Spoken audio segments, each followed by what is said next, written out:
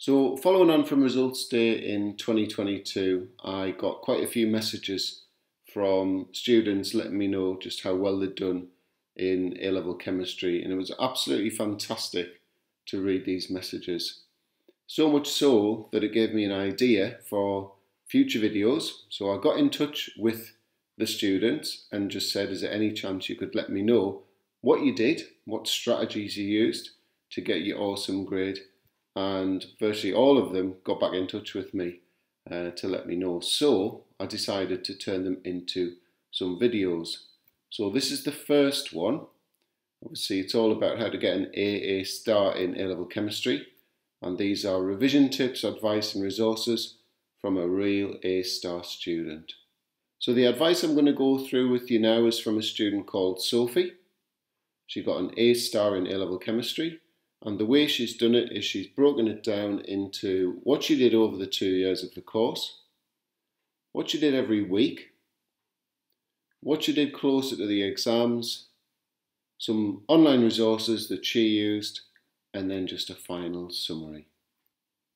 So, starting with throughout the two years. So, the first thing she mentions is she made sure her notes were filed in an organised way.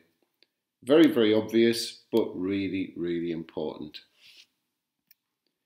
She then would create summary notes on each topic. So once she'd finished a topic, she would summarise them. Once she'd done these summary notes, she'd highlight the important information. Where possible, she'd include diagrams, and she found that really helpful with recall. And basically, she wanted to try and develop a photographic memory for content that she just had to recall. The other thing she mentioned is she made flashcards, which she used to test herself. She also got members of the family to test her as well. And she found them really, really useful for recall things like definitions, colours of transition metal complexes, the reagents and conditions for organic reactions, qualitative analysis of ions, and testing for organic functional groups. So all that mind-numbing stuff you just have to know. So we've got a couple of slides called each week. So the first one, she mentions she would spend a couple of hours reading over her summary notes. Remember these are these condensed notes made from her actual notes, but she targeted topics she found difficult to remember. She says she used a large whiteboard, found that really helpful at home to try and recall as much as she could from her summary notes, and it also let her know what she couldn't remember. And obviously, she would go back and work on that. The whiteboard was also really good for drawing out mechanisms, reaction pathways for organic reactions, and the organic synthesis apparatus. So, your reflux, distillation, separating funnel um, apparatus. And the other thing she did was she created big A3 posters of the reaction pathways. Stuck them on a bedroom wall and just looked at them a lot and said that really, really helped her remember them. So much so that when she was in the exams, she could actually see those things on her wall and she knew what was on each arrow. So moving on to the second each week slide. So another thing she mentions is she would spend a few hours each week doing practice questions. So obviously you sort of learn all the stuff, but you need to know that you can do it.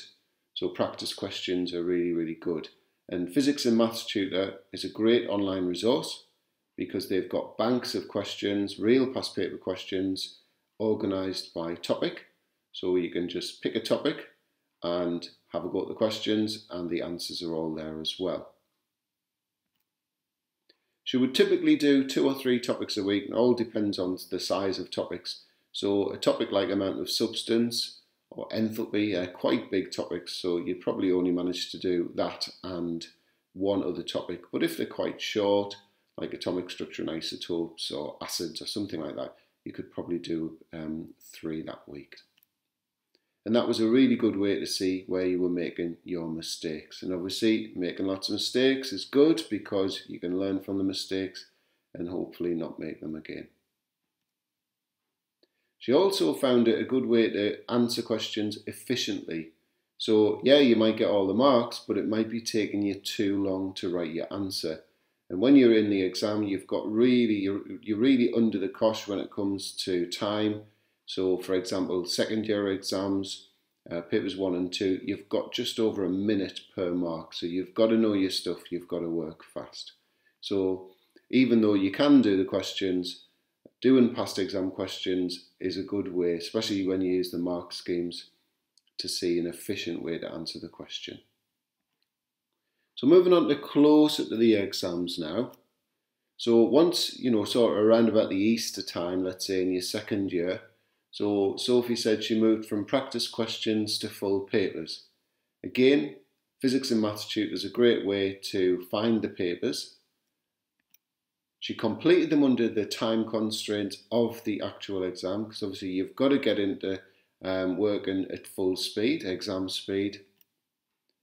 And it's also a good way to see how this papers is structured so that when you're in the real exam, you know exactly what's coming. Obviously, you don't know what the questions are going to be, but you know how it's all going to be structured and how long you need to spend on each section.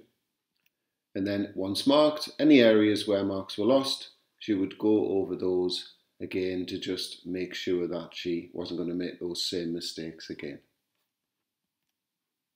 So moving on to online resources now. So physics and maths tutor has already been mentioned, so that's a great place to get those topic questions and full papers. Sophie also mentioned that she used my videos and especially um, used them for topics that she found difficult to master. So she's quoted NMR in the information that she got back to me. And she found my way of answering the questions, the sort of format I have for those NMR questions, quite handy. And it's lovely to read this. She actually grew to like them from it being a topic that she didn't like. She also mentioned that she found my past question walkthrough playlists helpful.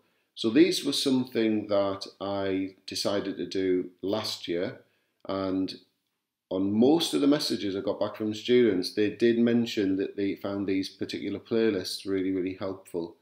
So basically, if you don't know about them, I pick a topic and I get all of the exam questions that are on that topic and I basically go through each one a video at a time. So the, the exam question is available but just by clicking on the link in the description of the video. So you have a go at it and then I'll walk through it with you. And what she liked about them was the fact that mark schemes don't really explain what the question means. They just say this is the answer. Whereas she found somebody walking through the, um, the questions step by step was very, very helpful and she's quoted a particular topic. So, you know, a lot of students that I teach really don't like this topic, the Arrhenius equation in the rates topic. But by the end of it, she wanted it to be on the exam. So it's a huge turnaround um, from hating to wanting it to be on the exam. So that, that was really lovely to read. So we'll just finish with a summary now. So Top tips from, from Sophie. Make sure you visit each topic multiple times throughout the year. And mix up your strategy. So don't just do one thing all the time. Mix it up. So some examples she's given, reading your notes, making those new condensed notes, those summary notes, making flashcards, use them to test yourself, get others to use them to test you, answering questions by topic or full papers, watch videos, look at those reaction pathways posters, write them out from memory, either on paper or on a whiteboard. Write out mechanisms, again, whiteboards are great for that. You can just write them out and rub it clean, try again. And then the other thing she found really, really helpful, do full papers under timed conditions. So when you put all that together, it's absolutely no wonder why Sophie achieved an A star in A-level chemistry. So I hope you found that helpful. I'll be doing another one shortly about a student who's gone from a low grade at around about Christmas of year two and turned it into at least an A.